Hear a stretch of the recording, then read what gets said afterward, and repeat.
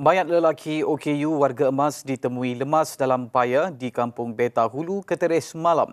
Bangsa Fakrul Razi Mamat, 65 tahun, sebelum ini dilaporkan hilang selama 15 jam sejak petang Sabtu lalu.